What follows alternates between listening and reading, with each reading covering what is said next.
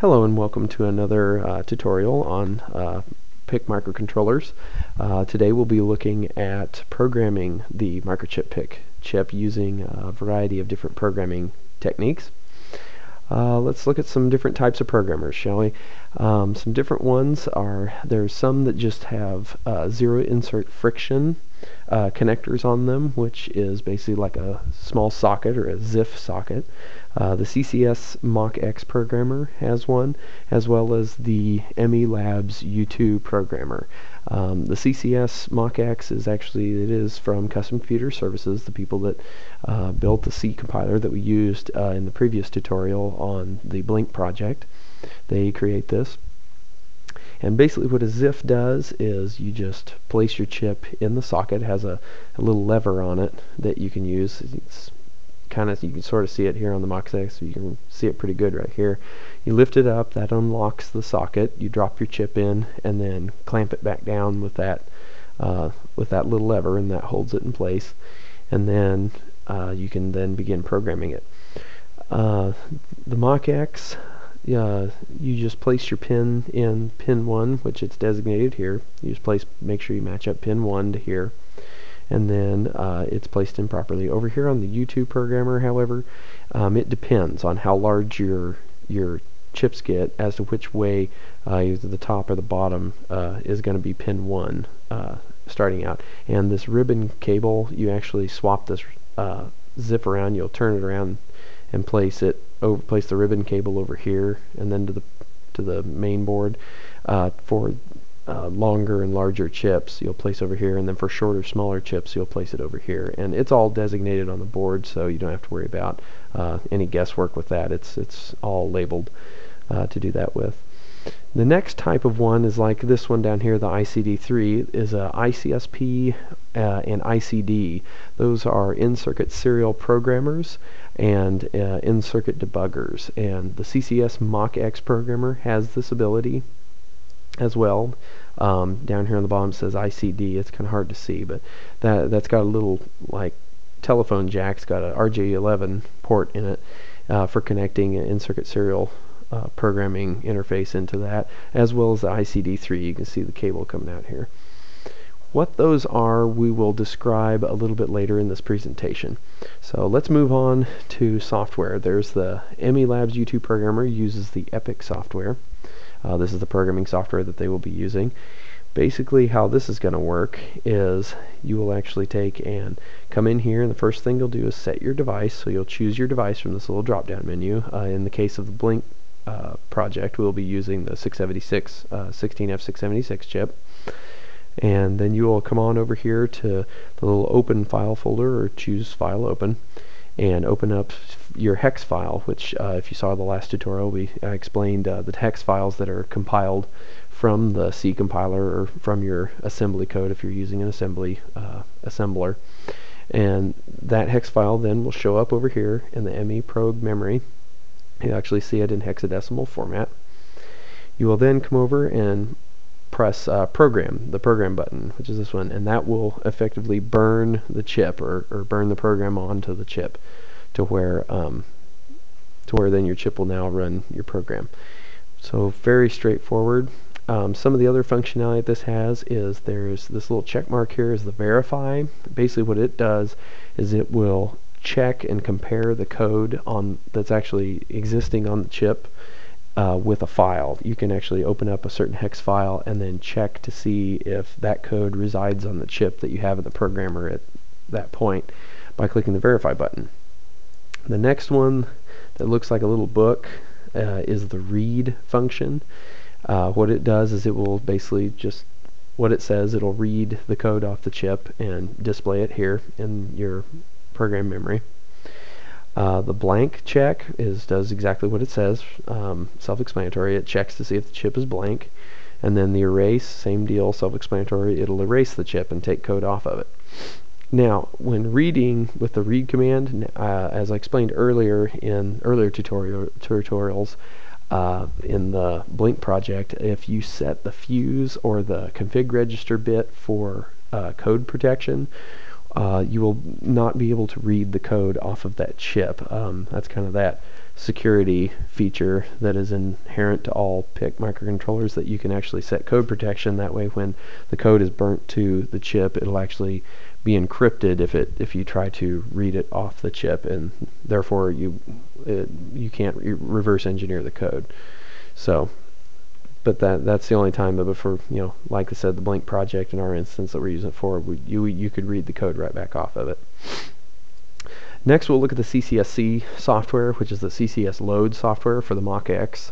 Same same deal, not not much different. They have a little bit more um, features, such as diagnostic tools, uh, to be able to test uh, the chip, make sure it's functioning properly, uh, test the chip as it resides in a circuit that you've uh, built, and things like that. Uh, it has a few more functionality, but basically the same.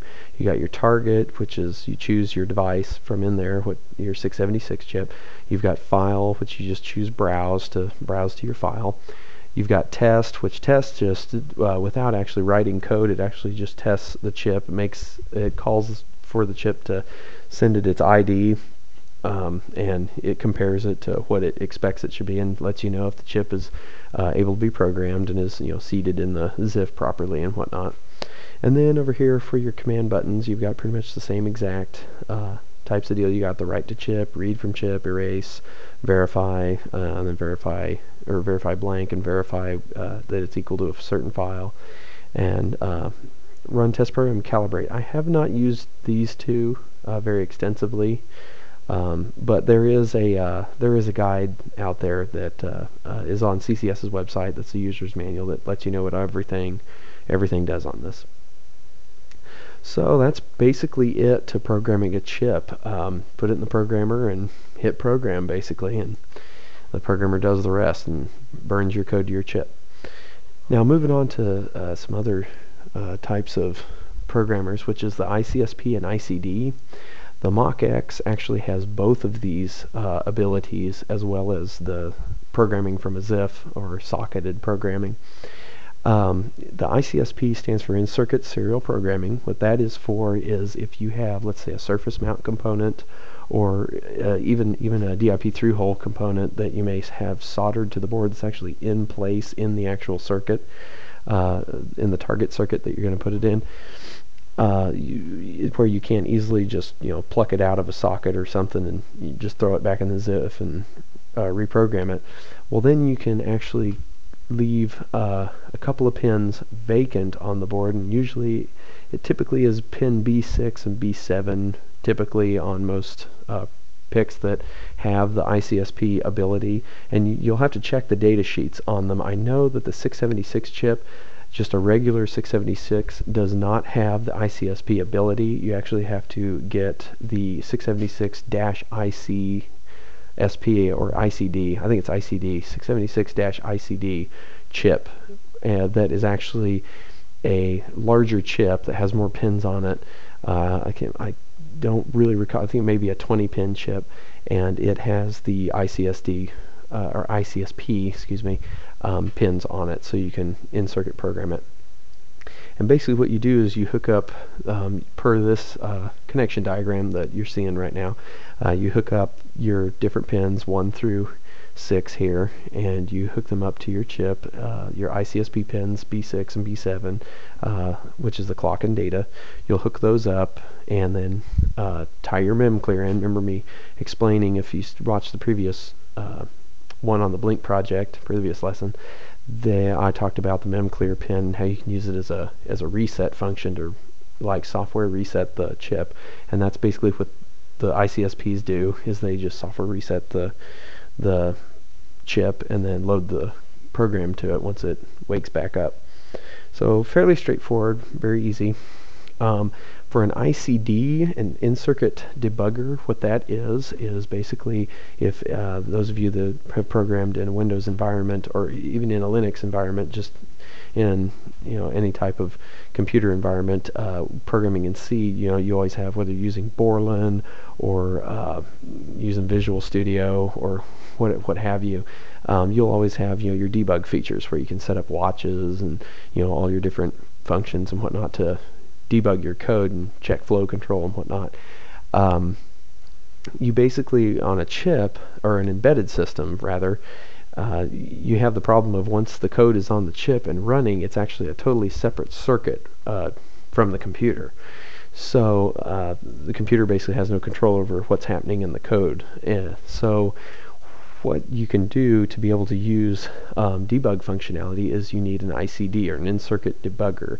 Um, you can also get an ICE, which is an in-circuit emulator, which basically is a little box that uh, is USB that you plug in your computer, and it basically emulates a the desired device, your uh, 676 chip or what have you. Um, it'll basically pretend to be that chip and give you um, your feedback that you're looking for. Um, the best one I think is the is to go ahead and get the ICD because that way you're actually working with the device that is actually in the circuit that you're working with, and that way you can debug your actual system.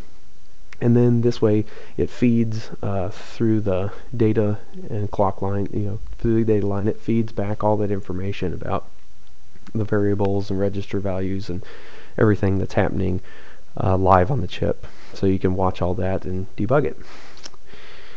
So that's what an ICD is, an ICSP. Pretty pretty straightforward. The next one is the MP Labs ICD3. Um, this one is basically the same thing. Uh, you got this one has a little bit better diagram. These these diagrams are all on their respective websites, CCSC's and uh, M or uh, Microchip's websites. Um, I'll give links in the description, but basically, see here you've got your VDD, you know, and then you've got your mem clear, and then there's our 10 k ohm resistor. See, they, they tell you, they give you a range. They can do 4.7 k ohm or 10 k ohm, uh, typically 10 k. Um, but there's your 10 k ohm resistor I talked about uh, in the previous lesson.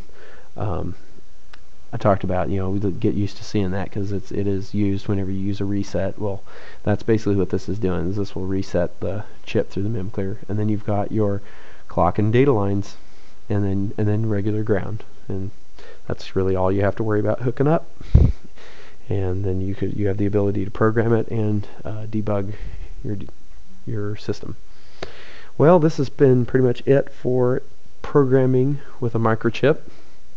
Uh, I will be uh, putting posting other videos uh, shortly um, on uh, doing some stuff. I think we will be doing uh, some input into this into this different systems, uh, showing how to do that, uh, putting some buttons on it, and actually gathering inputs as well as outputting data to different things.